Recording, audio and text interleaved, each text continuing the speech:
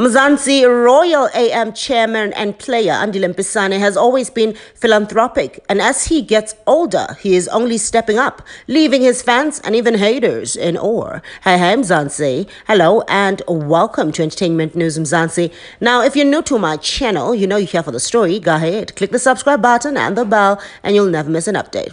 So Mzansi, this rapper recently had a big birthday, and to make it extra special, he decided to include Mzansi in his celebrations. Instead of throwing a big lavish party and only gracing our timelines with pictures and videos of celebrations, as many in his place would have done, he chose to celebrate with a big giveaway.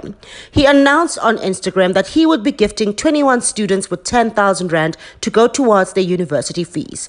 Today marks my 21st birthday, for which I would firstly like to thank God to get, for getting me this far. He wrote, In celebration of my 21st birthday this year, we are back again with the hashtag Royal AM Fees Must Fall movement. I'd like to give back by gifting 21 university students that have recurring debt from 2021 with 10,000 Rand towards their fees. You can also nominate someone in need of this financial aid, he continued. He then went on to outline the details of how students can nominate themselves or be nominated by others for the giveaway here.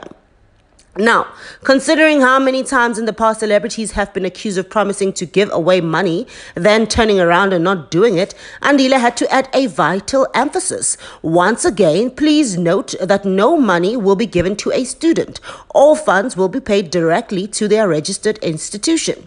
Now, fans online have applauded the efforts, thanking him for the his generous heart and comparing him to his mother, MaMkhize, who also just did a almost similar amazing thing for Zola 7. Now, university fees in Mzansi Mzansi are no joke, and we love to see that our celebrities are also seeing the menace and taking active steps to help those who may not be able to afford tertiary education otherwise. Now, there you have it, Mzansi. What a great initiative from Andile Mpisane, and let's hope he finds those 21 students and celebrates his 21st birthday uh, the way he actually wants this time around by doing a giveaway. Now, congratulations and happy birthday or belated birthday, Andile. Do leave your thoughts in the comment section below. I love to hear from you. But for now, you know, I will bring you the updates hard, just the way you like it.